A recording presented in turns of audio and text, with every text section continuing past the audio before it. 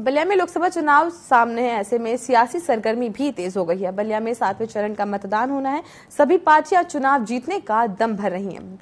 BJP के नीरज शेखर, सपा से सनातन पांडे, वहीं बसपाल से ललन यादव को मैदान में उतारा गया है। टीवी 24 की टीम में जनता का मूड जाना। आइए सुनाते हैं जनता की जुबानी।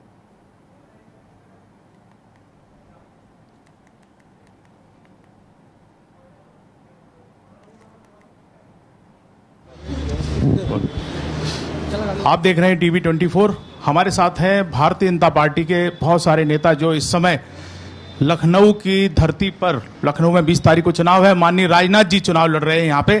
तो पूरे प्रदेश से, पूरे देश से लोग आ रहे हैं उनका प्रचार करने के लिए, उनके वोट परसेंटेज बढ़ाने के लिए। हमारे साथ हैं गाजीपुर से, हमारे साथ हैं गाजीपुर से प्रदीप कुमार सिंह जी और प्रदीप जी कुछ दो शब्द आप जो है राजनाथ जी के बारे में बताइए उन्होंने कितना विकास किया हुआ है? यहाँ तो विकास ही विकास है चारों तरफ़ फ्लाईओवर क्या सब कुछ बन रहा है और बनता ही रहेगा।